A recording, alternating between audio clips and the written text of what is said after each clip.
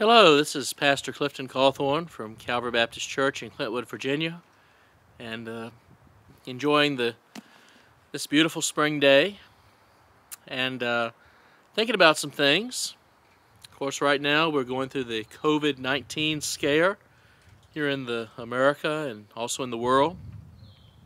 You know, it kind of reminded me of a a quote that uh, President Donald Trump said during his campaign and it got me thinking about a certain scripture in the Bible. And that quote was this We're going to win so much, you're going to be sick and tired of winning. you remember that quote? And uh, he'd go to his rallies, you know, recently and say, Are you sick and tired of winning yet? Are you sick and tired of winning yet? You may have heard those. Well, guess what's happened? A little over the last month, everything has collapsed. The economy has collapsed. Uh, many people's health has failed them. There have been sicknesses, there have been deaths. But you know what? We've got to believe that God is sovereign in all of this, that God is in firm control. It kind of upset me when the uh, governor of New York made a comment or a quote in which he uh, said that the fact that the numbers in New York were coming down the numbers of deaths, uh, had nothing to do with God. Do you know what? Everything has to do with God. The fact that this coronavirus came on the world scene, God is in control. The fact that it seems to be abating some, once again, God is in control. You know, the worst thing that can happen to us spiritually is not persecution or trials. The Bible teaches that the worst thing that can happen to us is prosperity. Always winning, always getting our way, always getting what we want. And we see that warning specifically laid out in Deuteronomy chapter number 32. Let me show you what God had done for Israel, and spiritually, what God has done for us, for you and me, if we are saved. Deuteronomy 32, beginning in verse 7. Remember the days of old. Consider the years of many generations. Ask thy father, and he will show thee, thy elders, and they will tell thee. When the Most High divided to the nations their inheritance, when he separated the sons of Adam, he set the bounds of the people according to the number of the children of Israel. For the Lord's portion is his people, Jacob is the lot of his inheritance. He found him in a desert land and in the waste, howling wilderness. He led him about, he instructed him, he kept him as the apple of his eye. As the eagle stirreth up her nest, fluttereth over her young, spreadeth abroad her wings, taketh them, beareth them on her wings, so the Lord alone did lead him, and there was no strange God with him. He made him ride on high places of the earth, that he might eat the increase of the fields. And he made him to suck honey out of the rock, and oil out of the flinty rock. Butter of kine and milk of sheep, with fat of lambs, and rams of the breed of Bashan, and goats, with the fat of kidneys of wheat. And thou didst drink the pure blood of the grape. What is it saying here? Well, it says in relation to Israel that God took them, in verse 10, from the waste, howling wilderness to what verse 15 says God made him ride on the high places of the earth. God gave Israel physical nourishment. In the same way, God takes us from the deserts of sin and causes us in Christ Jesus to sit in heavenly places. Spiritually, that's what God has done for Christians. Do we appreciate that? How often do we forget what God has done for us through Christ Jesus? What about as a nation? You know, as a nation, you know, God took the United States from a, a wilderness, the 13 colonies over here, struggling. Think about the pilgrims coming over and that first winter, the settlers at Jamestown's coming over, and those early days, which were very uh, testing for those people. And what has God done for us? Made us the most prosperous nation in all the world. And we herald forth, we shout, In God we trust. We say we're one nation under God. But you know what? God warned Israel, and God warns us both nationally and personally that the most dangerous thing for us is prosperity. Watch out, God says. When I bless you with prosperity, that's when you're going to be tempted to forget me and to leave me. Let's look at verse number 15, Deuteronomy 32. But Jeshurun waxed fat and kicked. Thou art waxen fat, thou art grown thick, thou art covered with fatness. Then he forsook God which made him, and lightly esteemed the rock of his salvation. Jeshurun. The word Jeshurun means upright, and it's referring here to, to, to Judah, to Israel, to God's people.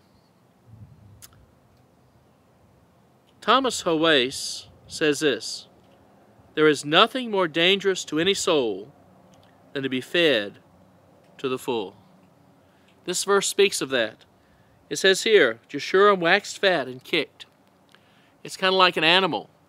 Um, let's say a calf. And you fatten up that calf and you give that cat all calf all kinds of food. And eventually that calf takes that food for granted and starts to kick against you and starts to to rebel against you because that food is taken for granted. Kind of like my cats here at the house. You know, sometimes they're very affectionate. And uh, my wife always says that the reason they're affectionate is because they're hungry. And sure enough, they have an empty feed bowl, and once they've eaten their food, they just go away and don't come around. That's the way Israel was. That's the way we can be. We become fat, we become prosperous. And then what do we do? We kick against, we rebel against Almighty God. Grown thick, covered with fatness. Then he forsook God which made him, and lightly esteemed the rock of his salvation. The God which made him. Spiritually, if we're in Christ, it is all of God and to his glory what he's done in our lives. As a nation, if we prosper, if we rise, it is all of God. It is only of him because he is the one who causes nations to rise and to fall. The God who made us. And what do we do? We turn against him. We forsake him and lightly esteem him. We act as if God had nothing to do with our salvation. Hosea chapter 13, verse 6 says, They were filled, and their heart was exalted. Therefore, have they forgotten me? Proverbs chapter 1, verse 32 The prosperity of fools shall destroy them. It calls uh, the Lord here the rock of Israel's salvation. What is a rock? Well, uh, a rock pictures stability, protection, might, a refuge, something which is invincible, a foundation, an impenetrable shelter. We sing that song, Rock of Ages, cleft for me. Let me hide myself in thee. Another song we sing, Safe to the rock that is higher than I. Standing on the solid rock. You know, this rock is Jesus. yes, he's the one. Let's look at Psalm 81, verses 8 through 16. this is a psalm of Asaph. And he writes here under inspiration of God's Spirit Hear, O my people, and I will testify unto thee. O Israel, if thou wilt hearken unto me, there shall no strange God be in thee, neither shalt thou worship any strange God. I am the Lord thy God, which brought thee out of the land of Egypt. Open thy mouth wide, and I will fill it. But my people would not hearken to my voice, and Israel would none of me. So I gave them up unto their own heart's lust, and they walked in their own counsels. Oh, that my people had hearkened unto me, and Israel had walked in my ways. I should have subdued their enemies, and turned my hand against their adversaries. The haters of the Lord should have submitted themselves unto him, for their time should have endured forever. He should have fed them also with the finest of the wheat, and with honey out of the rock should I have satisfied thee. What is Lord Jehovah saying here? He's saying, I brought you out of Egypt. I've given you everything you have. And yet you've gone after these strange or these foreign gods. I would have taken care of you. I would have prospered you. And yet you turned your back on me. And so back in Deuteronomy 32, verse number 16, it says this of Israel. This is a prophecy of what they were going to do. They provoked him to jealousy with strange gods. With abominations provoked they him to anger. They sacrificed unto devils, and not to God, to gods whom they knew not, to new gods that came newly up, whom your fathers feared not. They focused, they, they says here, they sacrificed, they worshipped devils. The word for devil here in the Hebrew literally means destroyer. Over in Revelation chapter 9, verse 11, it speaks of the destroyer. It calls him in the Hebrew Abaddon, and in the Greek, Apollyon. In John chapter 10, verse 12, it says that the thief comes, speaking of the devil, but for to kill, to steal, and to destroy. Thankfully, Jesus says there, But I have come that they may have life and have it more abundantly. They sacrificed unto devils, to those false gods that were not responsible for their deliverance and their prosperity. You know, I think about in a political sense, there's a big push today, there's a big move toward socialism. A lot of people are saying we ought to be more socialistic, like Europe. But these are the same people who've never known hunger the same people who have never known true poverty and true depression. And these are the people who don't realize that it was the capitalist system based on a principle from God's Word which said, If a man will not work, he shall not eat. That is the system that gave us our prosperity here in this country. And yet, why do they want to turn from it? Because they've never known poverty. They've never known what it's like to be under a tyrannical regime. That's the reason. It's the same with Israel. They're going to get into the land flowing with milk and honey, experience God's prosperity, and think, oh, it'll never go away. We're God's people. And yet they take up idols, they take up immorality, and God is a jealous God. Verse number 18, it says, Of the rock that begat thee, thou art unmindful, and hast forgotten God that founded thee. Wow. The one who gave you everything you've got, you've forgotten him. It says here, the God who formed thee, the one who took you from that wilderness, took you out of Egypt, and brought you into a prosperous land. Eh, you don't think about him anymore. You don't care what his law says. You don't care that he says, do not do this or, or do this in the Ten Commandments. Therefore, God is a jealous God, is going to have to judge Israel. And I'm afraid when we do that, he judges us personally and will also judge our nation as well. Proverb, excuse me, Psalm 9, verse 17 says, The wicked shall be turned into hell, and all the nations that forget God. But you know this uh, prophecy here that God gives through Moses in Deuteronomy 32, it is a conditional prophecy. And what that means is we don't have to go down this road. You know, when God takes us from our sins, and whether it be individually, He sets us free through Christ, we don't have to go away from Christ.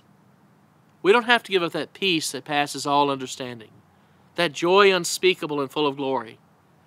We can choose to thank God for what He's done for us and to walk in His ways, and He will bless us spiritually.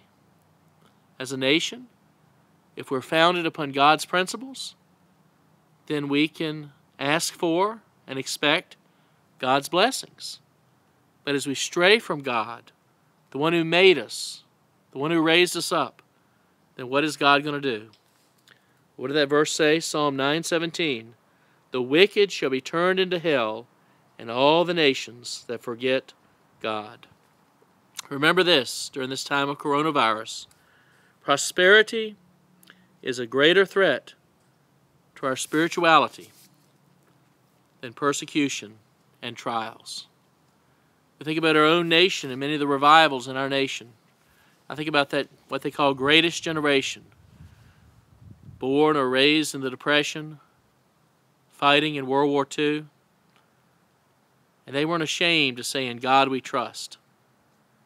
They weren't ashamed to identify with the Lord Jesus Christ. And yet you have the boomer generation, and you go on and on in prosperity. And prosperity is more dangerous to spirituality than persecution and trials. Remember that as we go through this in our land today. Let us pray. Heavenly Father, we come to you today. We confess where we have individually fallen short of your glory, and individually where we have sinned by either not obeying what you've told us to do or doing what you've forbidden. And Heavenly Father, as a nation, we repent. We repent of the sin of the killing of the unborn. We repent of the sin of redefining that which you have clearly defined in your word, which is marriage.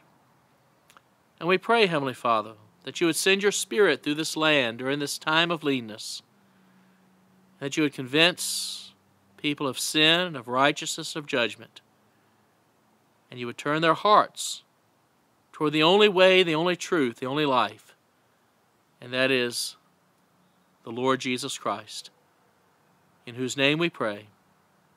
Amen. May God bless you.